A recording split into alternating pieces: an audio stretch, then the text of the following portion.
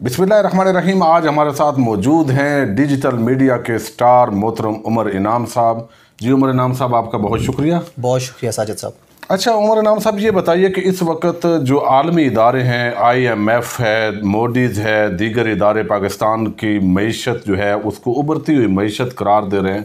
مگر یہاں کے ہمارے میڈیا اینکرز مختلف صحافی جو ہے وہ پاکستان کو ایسے پیش کر رہے ہیں جیسے ایک بڑا یعنی معیشت گرنے والی ہے، پاکستان کی صورتحال بہت خراب ہے اور خدا نخواستہ حکومت اگر چار مہینے، چھ مہینے اور چل گئی تو ملک کا دیوالیہ ہو جائے گا۔ آپ اس حوالے سے کیا کہنا چاہتے ہیں؟ سر، بہت شکریہ۔ بہت امپورٹنٹ کوشچن آپ نے کیا ہے۔ کیونکہ ہمیں یہ دیکھنا ہوگا کہ جب سے پرائم منسٹر عمران خان نے حلف اٹھایا ہے، تو اس وقت جو ان کو سب سے بڑا چیلنج تھا، وہ معیشت کا تھا۔ اور حامد میر، سلیم صافی، آسمہ شرازی غریدہ فاروقی اور پورا یہ کنبہ جو کرپٹ کنبہ ہے یہ جو وظیفہ خور کنبہ ہے، ان کے وظیفے لگے ہوئے تھے شریفوں اور زرداریوں سے۔ یہ ہیلی کاپٹروں میں نیلے پیلے کوٹ پہن کے جاتے تھے، جاوید چودھری جیسے لوگ۔ اور یہ مزے اڑاتے تھے۔ یعنی پریس کلب پریس کلبس کی، اسلام آباد کلب کی، رائل کلبس کی، ان کے پاس ممبر شپ تھی، ان کی بیویوں کے پاس تھی، یہ فٹنس کلب کی ممبر شپ تھی۔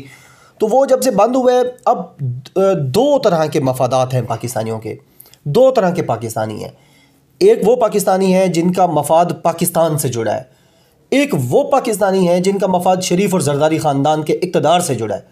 یہ جو سلیم صافی اور حامد میر کو اگر آپ فائن ایگزامپل یعنی ٹیسٹ کیس بنا لیں اور آپ دیکھیں تو سلیم صافی جو کر رہے ہیں پچھلے چار مہینے سے بسد احترام، وہ صحافت نہیں ہے۔ وہ بغض عمران ہے، بغض پاکستان ہے، بغض ملٹری ہے۔ اور یہ ایسے کوئی بے شرم آدمی میں نے دیکھے ہیں یعنی جرنلسٹ جو ایتھکس ہوتی ہیں وہ یہ ہوتی ہیں کہ جب آپ کوئی خبر دیتے ہیں خبر باؤنس ہو جاتی ہے، تو آپ اس پہ معذرت کر لیتے ہیں کہ جی میں نے خبر دی تھی، وہ ختم۔ حامد میر کی تقریباً کوئی پندرہ خبریں میں آپ کو پچھلے چار مہینے میں گوندل صاحب دکھا سکتا ہوں، جو اس نے خبر دی۔ کیونکہ سوشل میڈیا کا دور ہے، بارہ گھنٹے میری بٹل آ جاتا ہے، لوگ اس کو ٹویٹ کرتے ہیں کہ یہ غلط کہہ رہے ہیں اس کے باوجود نہ وہ ٹویٹ ڈیلیٹ کرتا ہے اور نہ کسی قسم کی معافی مانگنے کی کوشش کرتا ہے۔ اب بات رہی معیشت کی۔ آج کی جو جنگ اخبار ہے یعنی جنگ اخبار وہ ہے جو پاکستان کی معیشت، دنیا کی سب سے بڑی معیشت بھی بن جائے تو تب بھی وہ اس پہ سوالیہ نشان ہی لگاتا ہے۔ اور یہ جو جنگ جیو والے لوگ ہیں، ان کا بھی مذہب بھی شاید وہ پیسہ ہے اور وہ اس کے پیچھے لگے رہتے ہیں۔ آج کی جنگ اخبار کا جو اداریہ ہے، وہ آئی ایم ایف کی رپورٹ جو پاکستان کی معیشت کے سارے اشاریے کو بہتر ثابت قرار دے رہی ہے، اس کے اوپر ہے۔ یعنی اب آئی ایم ایف کی جو ٹیم یہاں موجود تھی پچھلے دو ہفتے انہوں نے پاکستان کے جو بڑی چیزیں ہوتی ہیں جس سے معیشت کو ماپا جا سکتا ہے یعنی زر مبادلہ کے ذخائر بڑھ رہے ہوں، آپ کی جو افرات زر ہے، وہ کم ہو رہا ہو، آپ کی، سوری، آپ کی فورن انویسٹمنٹ زیادہ ہو رہی ہو، آپ کے اسٹاک ایکسچینج اوپر جا رہی ہو۔ آج کی اخبار میں جو انہوں نے، جس طرح انہوں نے بھی چھاپا ہے اور آئی ایم ایف نے بھی کہا ہے کہ پاکستان میں جو بڑے اشاریے ہیں معیشت کو دیکھنے کے معیشت کو جانچنے کے وہ سارے اس وقت بہتری کی جانب جا رہے ہیں۔ یعنی کوئی ایسی چیز نہیں ہے جی۔ جس سے یہ پتہ چلے آئی ایم ایف کی رپورٹ میں کہ پاکستانی معیشت زبو حالی کا شکار ہے یا تنزلی کا شکار ہے۔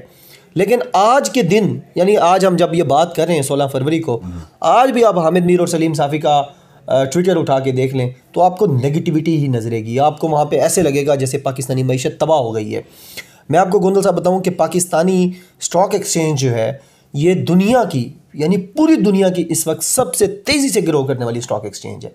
پچھلے چھ مہینے میں سب سے زیادہ پوائنٹس جو گرو کیے ہیں، جس نے گین کیے ہیں، وہ ہنڈریڈ انڈیکس میں، وہ پاکستان کے اسٹاک ایکسچینج نے کی ہیں۔ پھر آپ دیکھیں کہ جو موڈیز کی آپ نے بات کی موڈیز نے ہماری معیشت کو اسٹیبل قرار دیا ہے۔ اب مسلسل ایک انہوں نے پہلے سروے کیا، اس میں انہوں نے مستحکم قرار دیا، پھر ایک اور کیا۔ جو ایز آف بزنس کے حوالے سے ہے کہ یعنی پاکستان جی،۔ میں کاروبار میں آسانی کے مواقع پیدا کیے جا رہے ہیں اس میں بھی انہوں نے پاکستان کو ٹاپ آف دا لسٹ رکھا ہے۔ اس کے علاوہ بھی آپ دیکھ لیں کہ ہر طرح سے بہتری کی طرف ہم جا رہے ہیں لیکن ان لوگوں کا مسئلہ پاکستان نہیں ہے ان لوگوں کا مسئلہ پاکستانیت نہیں ہے۔ ان کا مسئلہ یہ ہے ان کو معیشت تب بہتر ہوتی نظر آئے گی جب اقتدار میں وزیر اعظم ہاؤس میں پریزیڈنسی میں شریف خاندان اور زرداری خاندان ہوگا۔ جب تک وہ نہیں آتے ان کو معیشت غلط اور خراب ہوتی ہی نظر آئے گی۔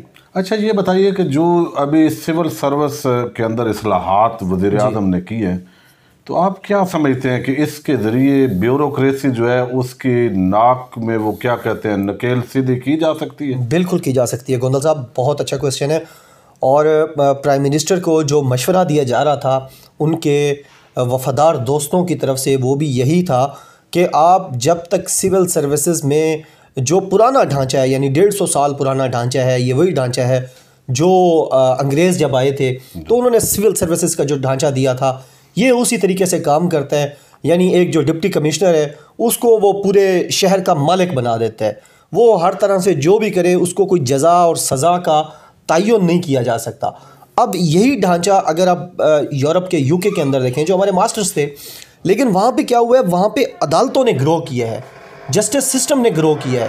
تو جسٹس سسٹم نے جب گرو کیا ہے، تو اس کے بعد اس چیز کو ماپنے کا یعنی جزا اور سزا ماپنے کا ان کے پاس ایک طریقہ کار آ گیا ہے کہ کوئی بھی سول سروینٹ کچھ کرتا ہے، وہ اچھا پرفارم کر رہا ہے، تو اس کو ظاہر طور پہ اس کو اس کی پرفارمنس پہ اس کو جزا ملنی چاہیے، اس کو انعام ملنا چاہیے، اس کی پروموشن ہونی چاہیے، اس کو اس کو بتانا چاہیے میڈیا میں آ کے اس کو یعنی-, یعنی کہیں کہ اس کو شاؤٹ آؤٹ کر کے بتانا چاہیے کہ اس بندے نے یہ والا کام اچھا کیا ہے۔ لیکن جو ساتھ ساتھ جو برا پرفارم کر رہا ہے جو شریف اور زرداری خاندان کا پیٹ بندہ تھا، جو صرف ان کی ہی چیزیں دیکھ رہا ہے اور پرفارم نہیں کر رہا یا روڑے اٹکا رہا ہے نیچے عوامی خدمت کے معاملے میں تو اس کو ایک تو اس کی سزا بھی ملنی چاہیے یعنی اس کی پروموشن ختم کی جانی چاہیے۔ پھر اس کا بھی نام میڈیا میں آنا چاہیے۔ یہ جو نیم اینڈ شیم والی پالیسی ہے نا یعنی آپ نام بتاتے ہیں لوگوں کا۔ یہ جب یہ بے نظیر انکم سپورٹ پروگرام میں جو لوگ پیسے لیتے رہے تھے اور ان کے نام سیکرٹ رکھے گئے صرف تعداد بتائی گئی پرائم منسٹر کے پاس جب ڈاکٹر ثانیہ نشتر وہ لسٹ لے کے گئیں تو پرائم منسٹر نے سختی سے کہا کہ آپ ان کے نام جاری کریں۔ اور پھر ان کے نام جاری ہوئے ان تمام لوگوں کے۔ تو سول سروسز کا سٹرکچر تبدیل کرنے کی ضرورت تھی اور یہ پریشر بلڈ ہو رہا تھا کیونکہ یہ وہ واحد چیز ہے جس کا نظام پیسوں سے جڑا ہوا نہیں ہے۔ یعنی عمران خان یہ کہتے ہیں کہ معیشت اس لیے بہتر نہیں ہو رہی، مہنگائی ہو رہی ہے قیمتیں بڑھ رہی ہیں کہ میرے پاس پیسے نہیں ہیں۔ لیکن سول سروسز پیسے نہیں مانگتی، وہ کمٹمنٹ مانگتی ہے۔ اب تھا کیا کہ عمران خان ڈیڑھ سال اتنے بیرونی اور اندرونی چیلنجز میں گھرے رہے کہ سول سروسز کی طرف وہ نہیں جا رہے، نہیں جا سکے۔ اب جب سول سروسز کی طرف نہیں جا سکے تو عام آدمی جو نیچے غریب ہے یونین کونسل لیول پہ جس کو وہاں پہ سٹرکچر، سول سروس کے سٹرکچر کے تھرو انصاف مہیا ہونا تھا اچھا روزگار مہیا ہونا تھا، اس کو صحت، تعلیم کی سہولیات ملنی تھی، وہ اس تک نہیں پہنچ سکی۔ لہٰذا یہ میں سمجھتا ہوں کہ عمران خان کا اب تک کا سب سے بڑا ڈیسیجن ہے، اگر وہ سول سٹرکچر کو ریفارمز میں اس کو امپلیمنٹ کروا دیتے ہیں، تو پھر جو ان کا تبدیلی والا خواب ہے دو نہیں، ایک پاکستان والا خواب ہے، وہ پورا ہو سکے گا۔ اچھا یہ بتائیے، آج اقوام متحدہ کے سیکٹری جنرل صاحب پاکستان میں تشریف لائے ہیں۔ وہ کشمیر کے حوالے سے بھی انہوں نے بڑا ایک جاندار بیان دیا ہے۔ پانی کے حوالے سے بھی انہوں نے بیان دیا ہے۔ موسمیاتی تبدیلی کی کانفرنس سے بھی وہ خطاب کر رہے ہیں۔ تو اس طرح کے جو لوگ عام شخصیات عمران خان کی جب سے حکومت آئی ہے جی۔ جیسے مختلف شخصیات نے یہاں کے وزٹس کی ہیں تو اس سے پاکستان کی اہمیت میں اضافہ نظر نہیں آ رہا؟ سر بہت زیادہ اضافہ نظر آ رہا ہے۔ میں آپ کو ایک سادہ مثال دیتا ہوں۔ میں دیکھیں باتیں کمپلیکیٹ کر کے نہیں میں آپ کو سادہ مثال دیتا ہوں۔ پاکستان کہتا ہے کہ کشمیر اس کی شارہ ہے۔ بھارت کہتا ہے ہمارا اٹوٹ اینگا ہے۔ پانچ اگست دو ہزار انیس کو جب بھارت نے آرٹیکل تھری سیونٹی ختم کیا اور تھرٹی فائیو بھی تھرٹی فائیو اے بھی ختم کیا تو اس کا مقصد یہ تھا کہ اب یہ اٹوٹ انگ نہیں اب حصہ ہے۔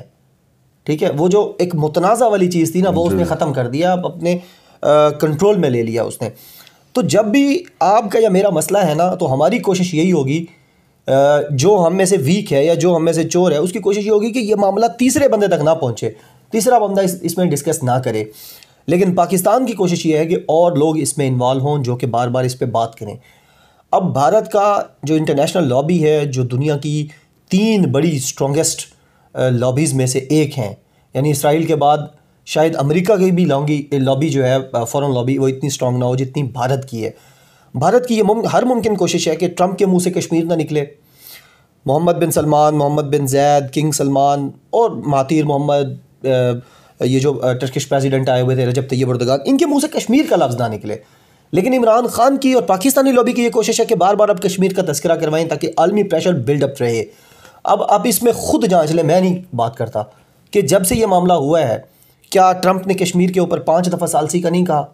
کیا جو اقوام متحدہ میں تقریر میں مہاتیر محمد نے تاریخ میں پہلی دفعہ کشمیر کا تذکرہ نہیں کیا؟ کیا رجب طیب اردگان نے تذکرہ نہیں کیا؟ کیا او آئی سی کا اجلاس محمد بن سلمان کے کہنے کے اوپر اسلام آباد میں اب جو ہونے جا رہا ہے کشمیر کے معاملے پہ وہ نہیں ہوا۔ اب جو اقوام متحدہ کے سیکرٹری جنرل آج اسلام آباد میں موجود ہیں اور اس سے پہلے جس طرح آپ نے کہا ہے کہ محمد بن سلمان آئے تھے اب کنگ سلمان نے بھی آنا ہے پاکستان اس کے علاوہ روسی جو ہیں ولادمیر پیوٹن انہوں نے بھی آنا ہے۔ پاکستان ٹرمپ کا بھی کہہ رہے ہیں کہ ایکسپیکٹڈ ابھی فور شور نہیں ہے۔ اور اس کے علاوہ ہم نے دیکھا برطانوی شاہی جوڑا بھی آیا پاکستان۔